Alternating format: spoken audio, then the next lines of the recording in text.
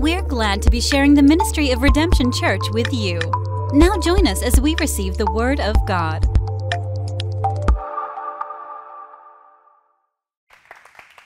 So I don't know if this is okay. I'm going to try it out. Happy New Year. Is it still okay to say Happy New Year? Is there is there what is the limitation? It's the second Sunday. Is it too long, Vicky? Is it too late? Is it Happy New Year, everyone. Happy New I, It's still new to me, and I, I'm still having trouble with 2 0, 2 0. Still having trouble with that. We want to see you have the best year ever. So we're in the middle of our sermon series, second week of our sermon series. It's called 2020 Vision. Real quick review. Last week we told you we don't you don't want this year to be like last year. Correct. It's not happy old year, it's happy new year.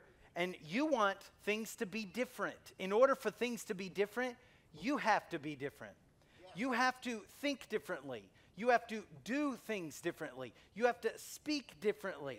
If you want a different year, then you've got to be different. We need a mission and a vision. Can anybody remember what a mission is? Mission is the what? Good job, because if you didn't know that, I would just pull up last week's notes and we'd preach it all again. Mission is the what. It's what you're trying to accomplish. Mission is the what. And then vision is the how. It's how you're going to accomplish, how you're going to see all those things that you want to see done. How are you going to see those accomplished? You need a what and you need a how. You need a mission and you need a vision. Habakkuk 2 and 2 encouraged us to write down a vision from the Lord. That is our scripture memory verse. That's half of our scripture memory verse. Let's look at it together. Let's read it out loud together. Then the Lord replied, Write down the revelation and make it plain on tablets so that a herald may run with it. Little different version than what we're learning. Write down the revelation or the vision so that a herald, so that anyone who reads it can run with it. You need a mission and vision from the Lord. If you haven't spent time already this year asking God, what is it that you want me to do? And give me wisdom so I know how to do it. You need a mission and vision, and not just any mission and vision. You need it from the Lord. And if you've got that, then what are you waiting for? You get running. You start running with that mission right. right now. And it says that you should write it down. If it's written down, it doesn't change, especially if it's written in tablets of stone, right? You need something that represents I've made a decision and I'm not going to change my mind on it. There's a lot of people that have a mission on January 1st, but around uh, January 5th, that mission is not the same. They've changed their mind on it. They woke up one morning and said, Whoa, it is cold. I don't think I'll go work out. No, you need a mission that is written down, that you have decided what you're going to do. Is that what this verse is telling us to do? Absolutely a vision so compelling that whoever reads it might want to run with it. I want to tell you that God wants to give you a vision so big that not only you are to be a part of it, but other people are going to see your calling and they're going to want to join up with you. Wouldn't you want a vision so awesome that your whole family gets on board? That your children get on board? That other people get on board? I'm telling you, you could have a vision. God could call you to do something today that just lights everyone else on fire. And they're like, I want to be a part of that Bible study. I want to be a part of that support group. I want to go and minister with you. Can I go and do those things? What is that? That is writing down a vision from the Lord so that whoever sees it can also run with it. We need a mission and a vision. I wonder, could you wonder with me for a moment? Did Jesus have a mission and a vision. Did Jesus in Scripture have a mission and a vision? Is it written down somewhere in Scripture? Well, I want to tell you, just kill all the all the drama. Jesus is a man of mission and vision. Do you believe that? Yeah. Think for a moment.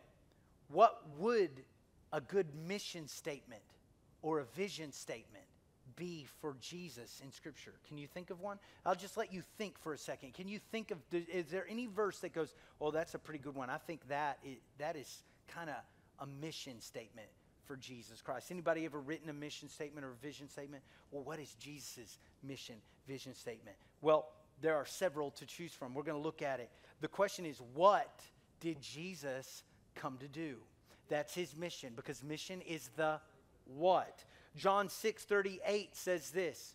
Jesus says it. For I have come down from heaven not to do my will, but to do the will of him who sent me. Jesus says this many times. He says that m- my plan, that my calling, that everything I'm called to do is the will of the Father. Say, will of the Father. Jesus came to do the will of the Father exclusively. Now listen, Jesus did uh, the will of other people. They wanted him to do something. Hey, they said, hey, please come and heal my daughter. Please come and feed us food. Please and come and, and, and spend time with us. And Jesus did those things. But let me tell you, exclusively, he did those things because it was the will of the Father. Do you follow that? Jesus exclusively did the will of the Father. That would be a pretty good mission statement for us, too, wouldn't it? to do the will of our Father in heaven. And what is the will of the Father? Well, greatly, Jesus gives his own commentary two verses later. He answers this, verse 40 For my Father's will is that everyone who looks to the Son and believes in him shall have eternal life, and I will raise them up at the last day. This is what Jesus came to do. He came to do the will of the Father, and the will of the Father is that everyone who looks on the Son receives eternal life, and that He will raise them up at the last day. This is a mission statement for Jesus Christ. Now, He says it differently throughout the four Gospels, but I want to tell you, although He may use different words, it is the one and same mission. Here's another way to say it Luke chapter 19, verse 10. Jesus says, For the Son of Man came to seek and to save the lost. He came to seek and to save the lost. Yes. Now, I've known some Christians that kind of go by that differently, that they have come to demean, judge, throw stones at, the lost. But that is not Jesus' mission statement. Let me tell you, it should not be the church's mission statement to go and judge people and to throw stones at people. No, it is to seek and to save the lost. That is Jesus' mission statement. Notice he doesn't come to be worshiped. Although Jesus is worthy of worship, he doesn't come for someone to build him a great big cathedral although he's worthy of that and so much more. He actually didn't come for us to seek him, he came to seek us. There's a thing that happens in churches all the time. Will you receive the Lord? The, the great thing about receiving the Lord is that He has already received you in advance. He already sought you out. He has already found you, and He has come to save you. Maybe you know John 3:16. Does that sound like a pretty good mission statement for the Lord Jesus Christ? Right? For God so loved the world that he gave his one and only son that whoever believes in him shall not perish but have eternal life. There's so many verses we could look at, but I want you to understand this that Jesus Christ had a mission.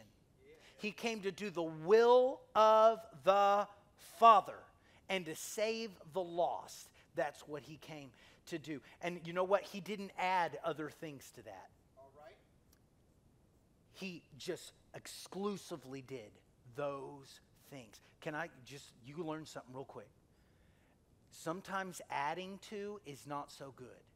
All right. Sometimes you've got a plan, but then you add stuff to it, and it actually takes away from your total vision in the end. Do you agree with me? Yeah. Jesus Christ didn't add that. He didn't add, I'm, I'm, I'm going to do the will of the Father, I'm going to save people, and I'm going to set up my own denomination. He didn't do that. That's us. That's what we do. That's what we do. We set up our own denomination. He didn't say, I'm going to do the will of the Father and I'm going to save people and I'm also going to make fun of people that don't love me. That's not what he does. It's not what he does. His mission is exclusive. You need to have a little bit of exclusivity to your mission today. I'm going to do the will of the Father. And someone else comes up and says, Hey, would you do these things that, that is not the will of the Father? You say, No, I'm not going to do that because I'm exclusively trying to do the will of the Father. If you will make that decision in your life, it will take care of a lot of your decision making in the future. Make that decision today. It'll make the rest of your year not very complex, all right? Jesus came to do the will of the Father and to save the lost. Jesus has a mission. Jesus knew what he came to do. It's really sad to see people that don't know what they are supposed to do. I don't know what God wants me to do. I don't know what I'm called to do in life. I don't know what I feel about this. You need to understand the what. Jesus Christ understood the what. He understood it pretty much from day one when he was a little kid that was left in the temple. Mary, his mom's like, What are you doing, Jesus? Mother voice. And your mother didn't say that? No. And what did Jesus say? I must be about my Father's business. I am about my Father's business. He knew what he was about. Do we understand our mission? Do we understand what we are to do? Now, Jesus had a mission, but he also had a vision. Do you believe that? Oh, yes. Jesus knew how he was going to accomplish. He knew the how. Here's some verses Matthew chapter 4, verse 17. From that time on, Jesus began to preach, Repent, for the kingdom of heaven has come near. This is a vision statement right here. This is a, a how he's going to do the will of the Father and a how he is going to save people. Do you understand this? He preached what? Repentance and what? That the kingdom has come near. Jesus preached repentance from what? Sin. From sin. Repentance is that turn away from sin and turn back towards God. Jesus Christ preached that from the beginning of his three and a half years of ministry. He was preaching, repent. Yes. Jesus preached that God's kingdom is a reality, and that reality is coming nearer and nearer to us. Do you see this picture that God's kingdom is coming near? Really quick, I was thinking about this this week. So let, us just pretend, all right? Pretend. I'm not making a prophecy here, but we're just pretending. Here's a bit of information Jesus Christ is going to return in one minute. 60 seconds, start the clock, all right? What's going to happen in one minute? Now it's 55 seconds. Hey, by the way, can I interest you in some cocaine or some drugs? 45 seconds. Jesus, no, are you sure? Some methane, methamphetamines? Does anybody want some drugs? Anybody want, anybody uh, want some pornography? We're at 30 25 seconds till Jesus. Any, can I interest you in maybe having an affair? 25 seconds. Anybody want to do violence and yell at people and take the name of the Lord in vain? 15 seconds to go. You're running out of time to sin. Jesus is returning. Can I interest anybody in sinning? Five, four, three, two, one. Trumpet sounds. Jesus is returned. I couldn't convince any of you to sin one minute before Jesus returned. Do you know why that is? Because you realize when the trumpet sounds that his kingdom will come to this earth and you want to be ready for it. Right? right? Well, but what Jesus tells us here from almost 2,000 years ago, he preached, Repent, for the kingdom of heaven has come near. You are not waiting for the trumpet to sound, for the kingdom of heaven to be right at your doorstep. You're getting it all wrong. You need to be able to repent of sin and turn away from it and not be tempted by it because the kingdom of heaven is here right now. Do you understand that Jesus says the kingdom of heaven is within you. That the kingdom of heaven is not a place, it's not food and meat, it's not drink, but it is the Spirit of God. Righteousness, peace and joy in the Holy Spirit. That is the kingdom of God. That's what Jesus said. Can I help you? Can I shake you for a moment? We have this understanding oh man, when that trumpet sounds, that's really serious. Wake up. It's serious right now. You're not waiting for a trumpet to sound. You got a mission to accomplish, you got a vision to see fulfilled, and sin ain't going to do it. Get real with it. Get to repenting and seeing the kingdom come near. Can I tell you something that if you're having trouble with sin right now, it's because you aren't understanding the kingdom. And that you're choosing another kingdom rather than the kingdom of righteousness, peace, and joy in the Holy Spirit. Jesus preached about this. Matthew, uh, Mark chapter 10, verse 45, it says this from Jesus For even the Son of Man did not come to be served, but to serve and to give his life as a ransom for many. This is a vision statement. Do you see this? That this is the how. This is how you do the will of the Father. And this is how you save people from their sin. You serve them. Redemption Church, can I tell you, this would be a good vision for us to serve this community, to serve people that when people call us asking for help, we serve them. When people come to this altar and they're crying and they're fearful, that we serve them, that we serve this community. Get out of the mindset of who can we get to help serve us. No, it's not about that. It is about serving them. And can I tell you, when you serve other people, you will be serving God.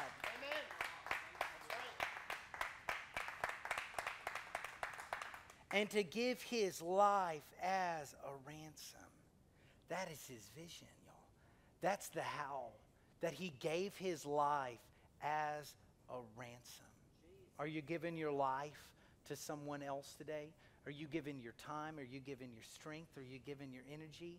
I'm telling you, that is your life. That is your life. Sometimes you think giving your life is just like the heart rate monitor stopping and then you're dead and you gave your life like that. I mean, that's possible. But also, when you give your time, when you give your focus, when you give your listening ear, when you give someone your eyesight and let them know that they're a person, that is giving your life to someone.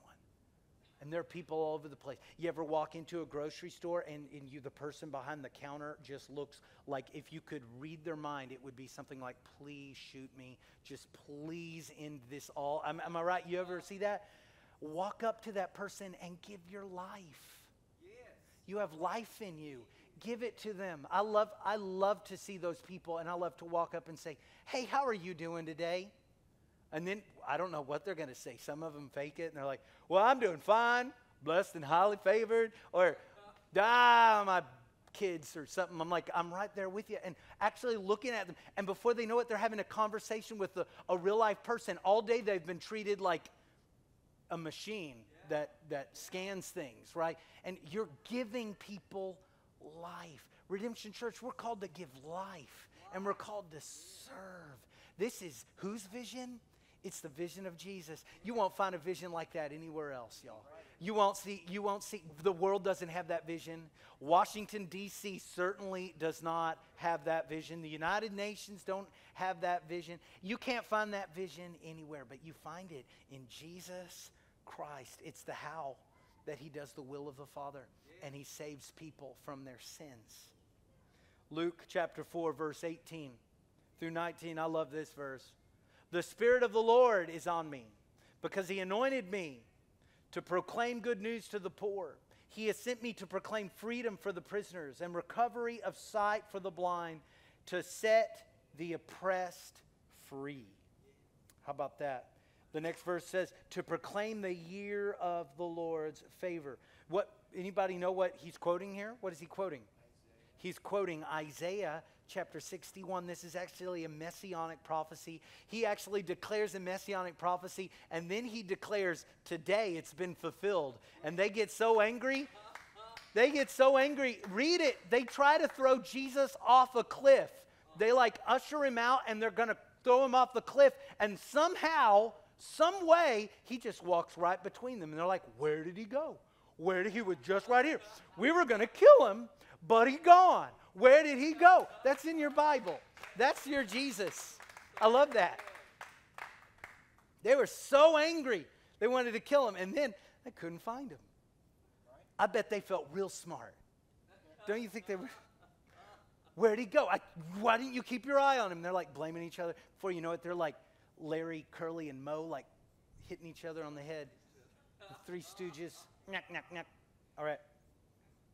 The Spirit of the Lord is on me because he is anointing me. I want to tell you, this is a vision statement from Jesus Christ. This is how Jesus is accomplishing. You want to know how he's accomplishing? The Spirit of the Lord is on him, and the Spirit of the Lord is anointing him. Do you know the purpose of anointing? Do you know the purpose of anointing? Anointing is always attached to purpose. Anointing is like the rubber stamp of God that says, I have chosen you to do that.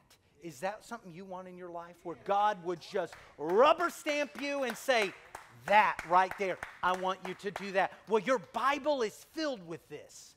Your Bible is filled with the fact that you are called by God, that He has put His name upon you, He has put His seal upon you, He has put His Spirit upon you, He has called you out of darkness into His marvelous light. So you should so forth the praises of him. This is what he's done. It's all throughout the Bible. And all throughout the Bible are rubber stamp things where God says, I want you to do that. You can go and do that. I want you to fulfill this. It's a promise of God. It's for you. You got to open your Bible, though.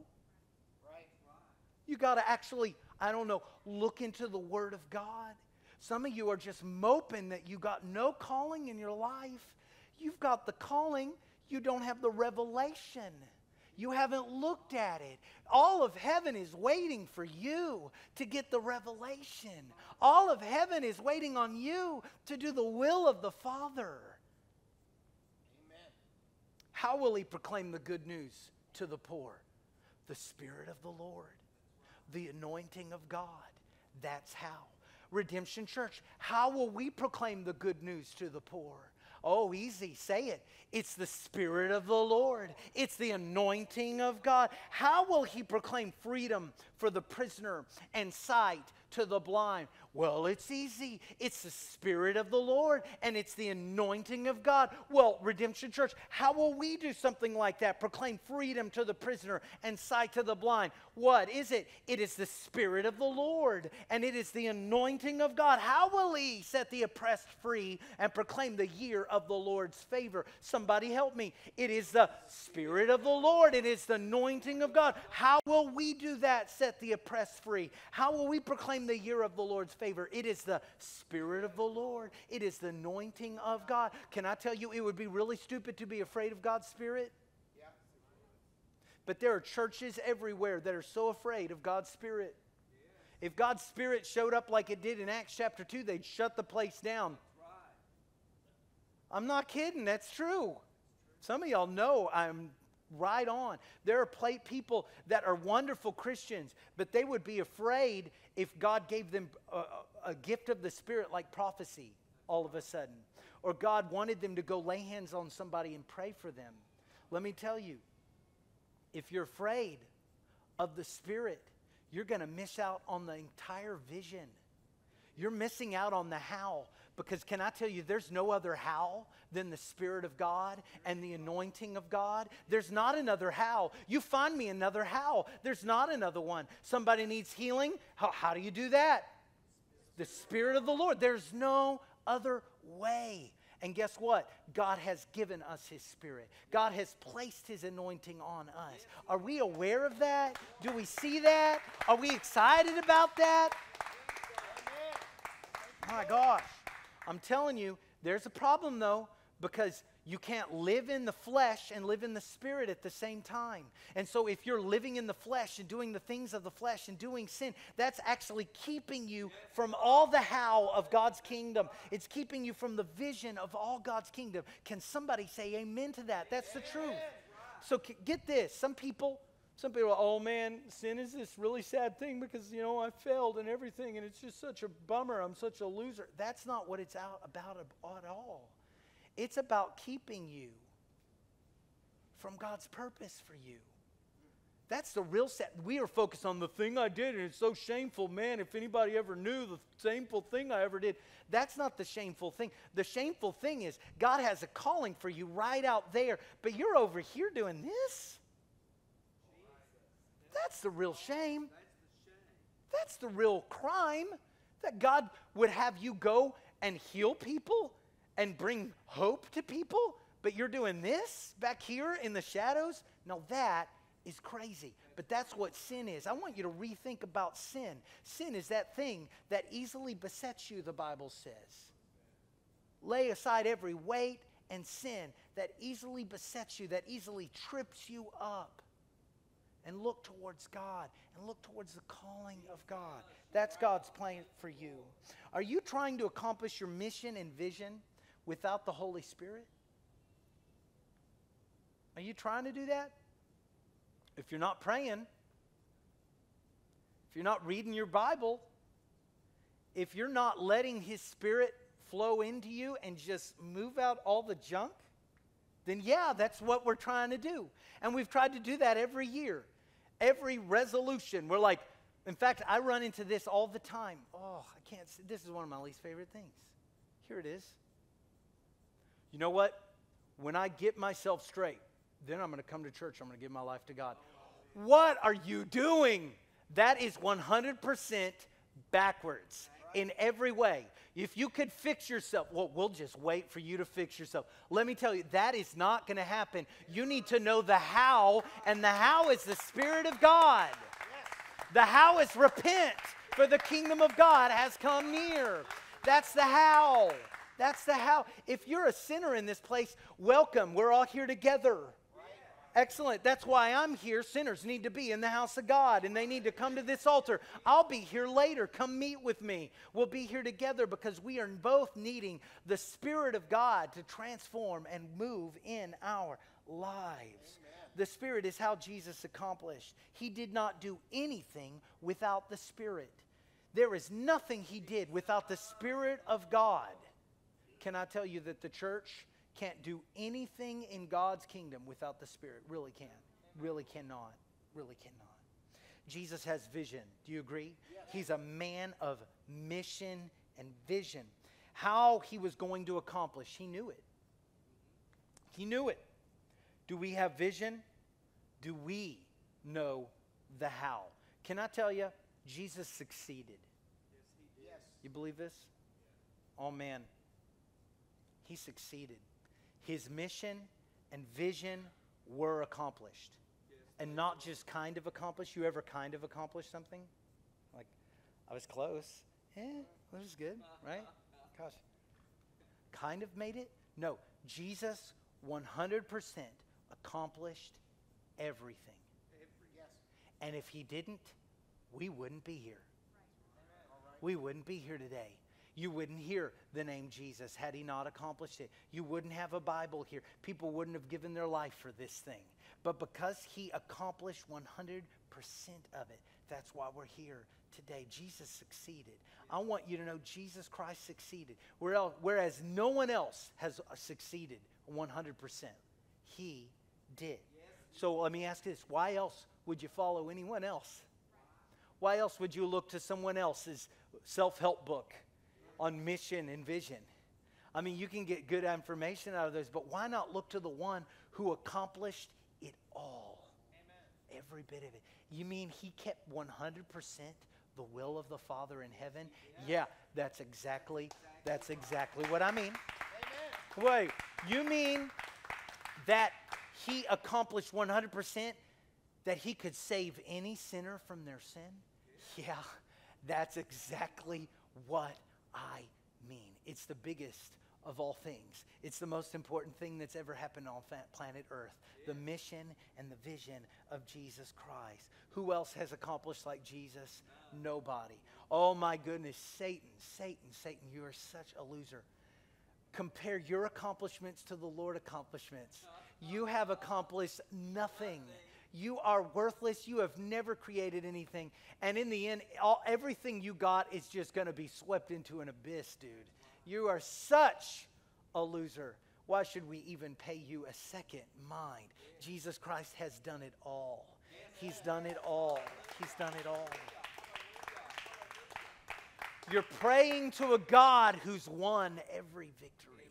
You're praying to a God who has accomplished it all. In heaven, there's this moment where they're, uh, they're in the throne room and there's all these elders and they start crying. There's crying in heaven at this point. They're crying. They're saying, Nobody's worthy. Nobody can open the book and break the last seal and bring the, the divine will of God into motion. And they're, they're bawling and they're crying. But then in Revelation, a lamb appears, and their cries come to shouts of joy when they start declaring, He is worthy. He is worthy to take and open the book, to open the scroll, to open the seal, to bring in the complete will of God. He has accomplished it. Nobody else but Jesus. Nobody else but Jesus. I want to give you a key to Jesus' success. Now, this is just one little key. Here it is. Very simple. Jesus saw his mission and his vision everywhere. Say everywhere. Everywhere. Everywhere. Jesus saw his mission and vision in every person. He saw it in people that other people would look past, like fishermen. Everybody else is walking past the fishermen. They're keeping their distance because they don't smell. They smell like fishermen. They were not the bread and butter of society. But Jesus walks right up to them and he says these two words. What does he say? Follow me. He sees them. He doesn't look past them. He sees his mission in them. He sees their vision in those men. They had to be like, What? Me? Yes, you. He, he saw it in a sinful woman about to be stoned. The Pharisees had taken up stones and they called Jesus over to join into the stoning. Let me tell you, we do that sometimes. We wish that Jesus would get people. Have you ever prayed that prayer? Jesus, get them. Get them, Jesus. You're calling the wrong guy. You're calling the wrong guy because that's what the Pharisees did. And he goes in that place and he chases the Pharisees out of there. And he looks down at this woman who everybody was about to kill. And he sees his mission in her, he sees his vision in her. And he says, Woman, where are your accusers? Where are your accusers? And she says, They're gone. And he says, Neither do I accuse you.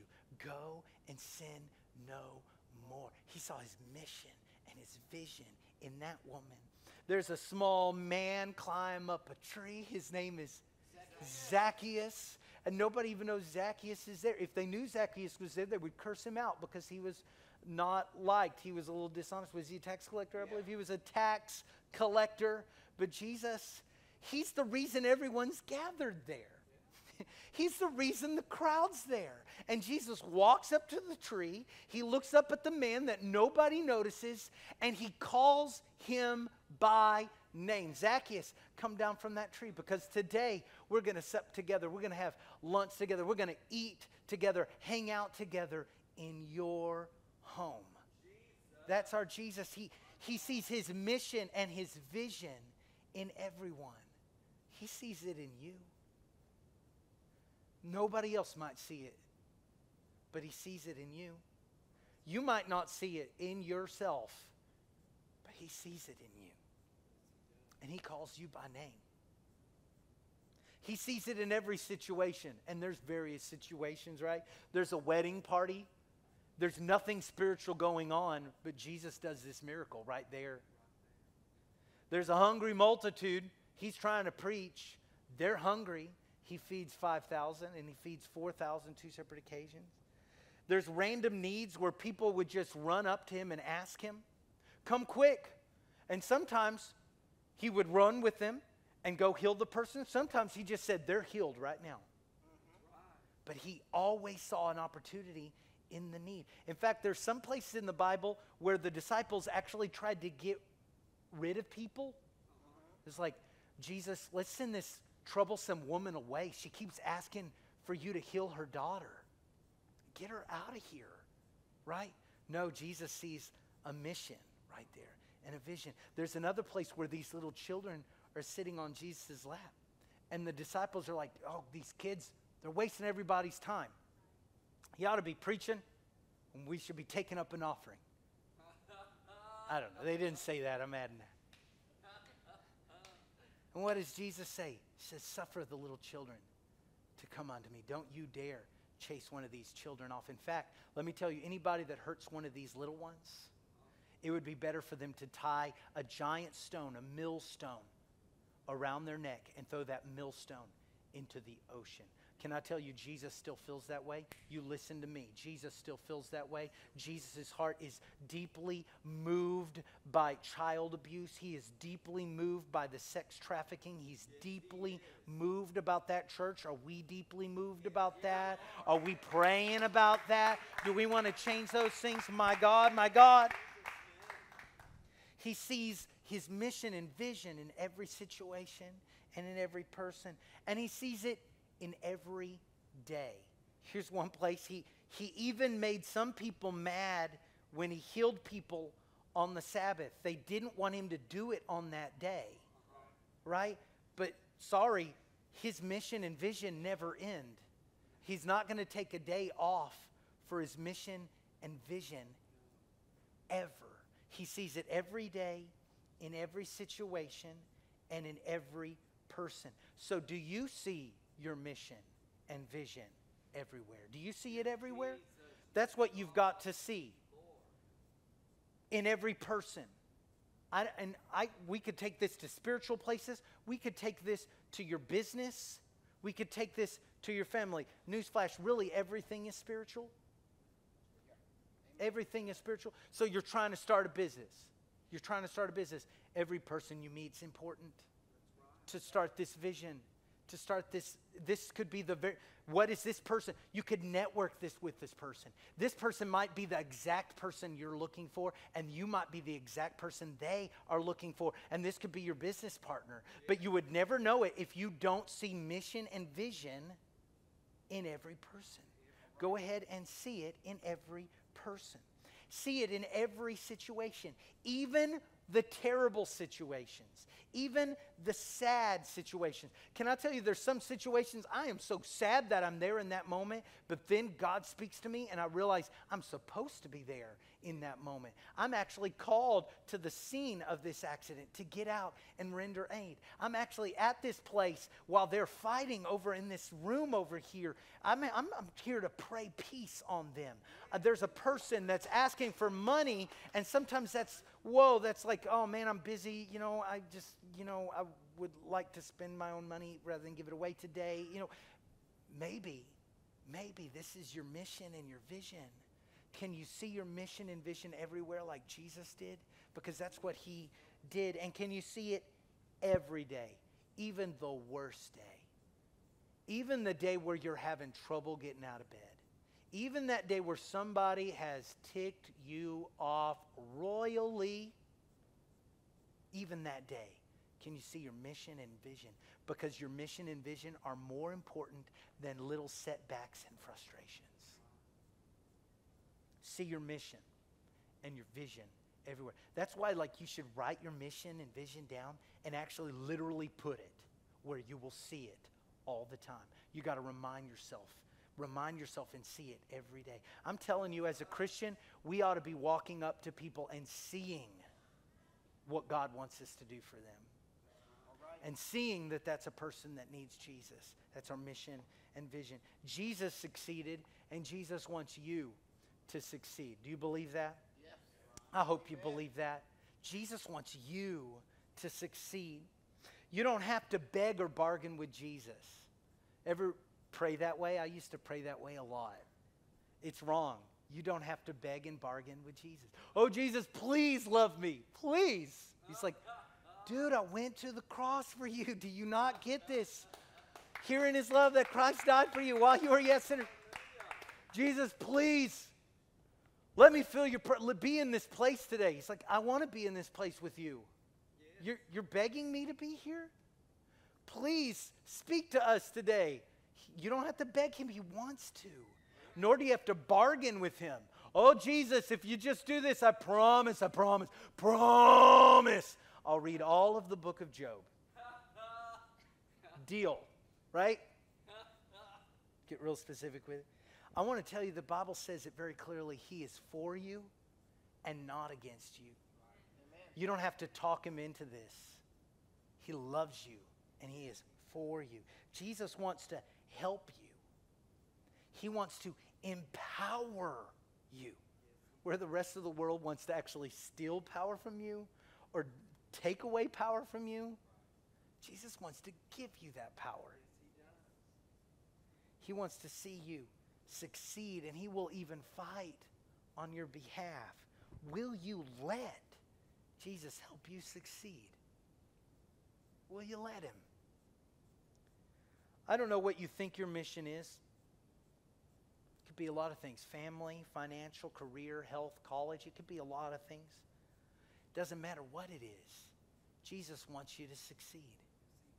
He does. He does. Jesus is a man of mission and vision who succeeded in every way. As people of Jesus, he desires that we be people of mission and vision and walk into continued success. But I, I want to tell you something. You've got your mission and vision working up in here, in your brain. I want to tell you that Jesus Christ has given you a mission. Do you understand what I'm saying? Jesus Christ has given you a mission. Do you care about the mission Jesus has given you? Do you care about that? Do you know do you know Jesus' mission for you? If you say you care about it but you don't know Jesus' mission for you, then rethink that. John chapter 13 verse 34 through 35. Jesus says, "A new command I give you: love one another as I have loved you." So you must love one another. By this, everyone will know you are my disciples if you love one another. Does that sound like a mission? It's your mission to love everyone. Anybody fulfill that mission yet? Me neither. I'm working on that. But there are people, your enemies, Jesus says to love them, to pray for them. What? That's what he says. That's his mission. Can you make it your mission to love everyone? That's a big mission. That's his mission for you. It's his mission for this church. It's his mission for your family. That love would flow out of you. What love? The very love that God gave you, the very love that Jesus gave you. As I have loved you, so you must love one another. And this reveals to everyone that you're his disciple your mission. Love others with the love of Jesus. Look at this, Matthew 28 19. What, what is this called? This is called the Great Co Mission, right? Therefore, go and make disciples of all nations, baptizing them in the name of the Father and of the Son and of the Holy Spirit, and teaching them to obey everything I've commanded you. And surely I am with you always to the very end of the age. This is your mission. He has given us all a mission to make disciples. You listen to me. He didn't just give your pastor this mission. This mission is to every disciple. Are you a disciple? Are you a follower of Jesus Christ? Then it is your mission to go and make other disciples. It's your mission to baptize. It's your mission to teach them and to know that He's with you always in it. That's your mission. Make disciples. This is Jesus' mission for you. Do you care about it or are you waiting me to finish? You care about this mission? Then go make disciples this year. Find a way to make it happen. Are you too busy with your own personal mission to care about God's mission for you? Is maybe you've got your own personal mission up here the house, the money, the car, the college. And then you've got his mission. It's, it's down here. It's up here on Sundays, but it goes down here. If the Cowboys are playing on Sunday, it's, it's further down, which is punishment. You watching the Cowboys these days, those Cowboys. Where, where is his mission and your mission, your personal mission? Where are those things? Where do they, which one's on top? Which one's the priority? Matthew 6, 31, verse 32 says this So do not worry, saying, What shall we eat? Or what shall we drink? Or what shall we wear? For the pagans run after these things, and your heavenly Father knows that you need them. I want to tell you that a lot of our mission stuff is like the pagans running around. It's the words of Jesus. What are we going to do? What am I going to wear? You say, What? What is what?